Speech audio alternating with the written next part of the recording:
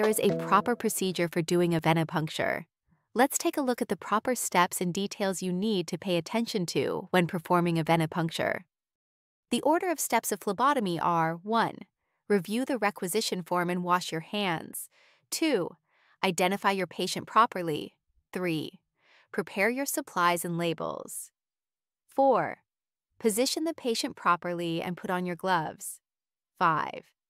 Apply the tourniquet to the patient and find the vein you want to use. 6. Properly clean the site where the venipuncture will take place. 7.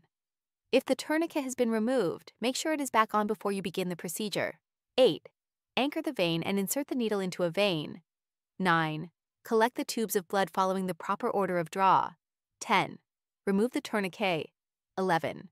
Remove the needle from the arm and dispose. 12. Place a bandage of the site of the puncture and stop bleeding. 13. Make sure each of the tubes is labeled properly. 14. Make sure the patient is not experiencing any side effects. 15. Dispose of your biohazard material properly. 16. Remove your gloves and wash your hands. 17. End the visit properly. And 18. Document your patient visit. Let's look at each of these steps in detail. Please review our previous video on patient requisition forms in detail. Always make sure that it is filled out completely and that you follow all tests as ordered. You should always wash your hands before each procedure. If there is visible contamination on your hands, you must use soap and water. If there is no visible contamination present, you may use a medically approved hand sanitizer. The CDC recommends a hand sanitizer with at least 60% alcohol content to be effective.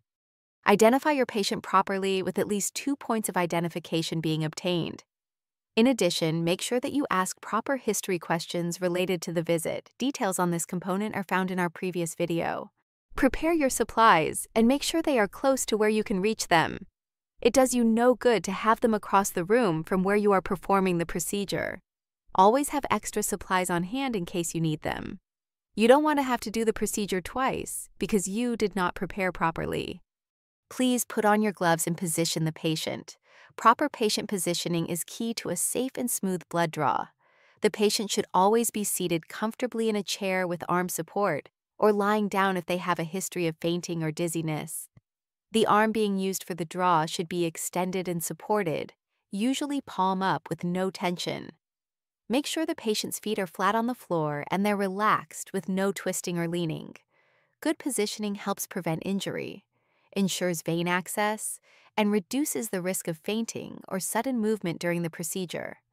Always choose safety first, especially if the patient seems anxious or unstable. When applying a tourniquet, place it 3 to 4 inches above the intended puncture site, which is typically on the upper arm. Wrap it snugly, but not too tight. It should restrict venous flow to help the veins fill, but not cut off arterial circulation. You should still be able to feel a radial pulse below the tourniquet. Keep it on for no more than one minute before drawing blood to avoid discomfort and inaccurate results. If you need to place the tourniquet on to find the vein you want to use, take it off and replace the tourniquet once again before beginning the blood draw. Once you've selected your vein, release the tourniquet as soon as blood starts flowing into the first tube, unless your protocol says otherwise. Always explain what you're doing and check in with the patient for comfort. When it comes to selecting a vein for venipuncture, not all veins are created equal. In general, you want to go for the largest, straightest, and most stable vein that's easy to access and causes the least discomfort. The first choice is the median cubital vein that is located in the middle of the antecubital space and is usually large, well anchored, and easy to find. The second choice is the cephalic vein, found on the thumb side of the arm. It's often a good backup, especially in larger patients. The third choice is the basilic vein, which is on the pinky side. It's close to nerves and the brachial artery, so use it with caution. Avoid veins that are small, hard, rolling, or near joints. Also skip any areas that are bruised, scarred, or where there's a current IV. Take your time, palpate with purpose, and don't be afraid to ask for help if you can't find a safe option.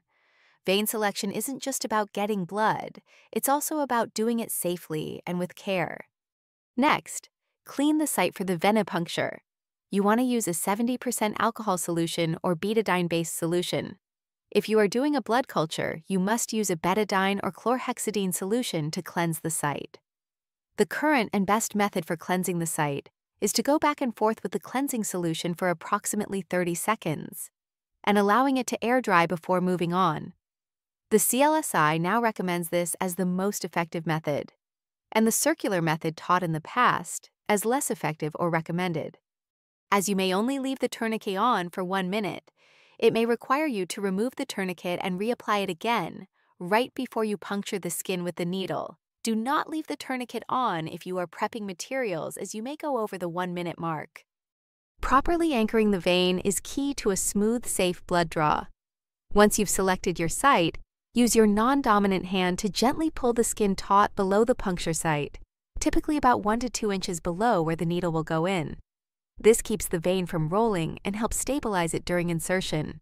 Your thumb should stay below the puncture site and never across it. This helps to avoid accidental needle sticks. The goal is to create just enough tension to keep the vein in place without causing discomfort. A good anchor reduces the risk of a missed vein, makes the draw easier, and helps keep your patient calm and still. When it's time to insert the needle, make sure the bevel is facing up and the needle is aligned with the vein. This means that the lumen or opening of the needle is facing upwards.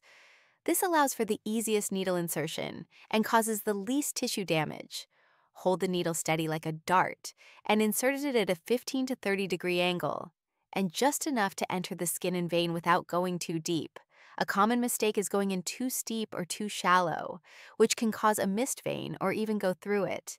Insert the needle smoothly and confidently, not too fast, but not hesitant either.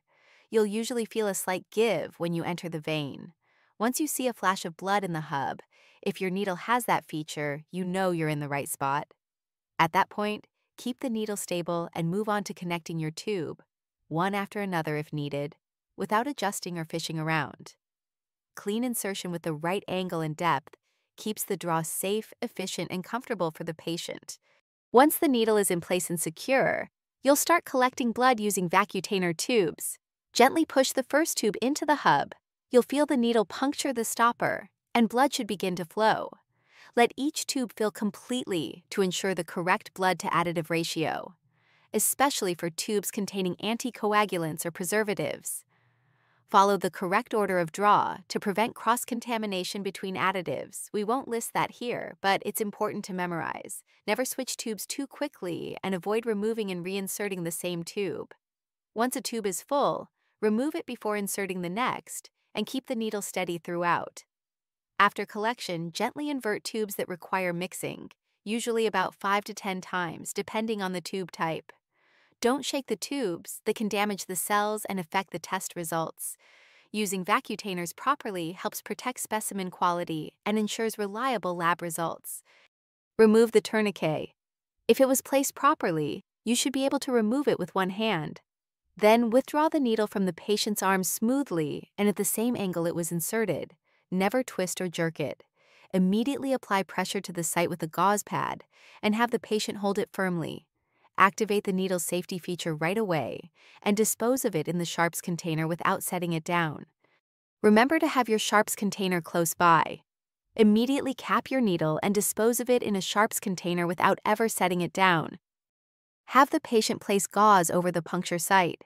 Make sure you ask them to hold this firmly over the site for me Giving clear instructions to your patient helps them to know how they should proceed, and it frees up both of your hands to clean up the procedure.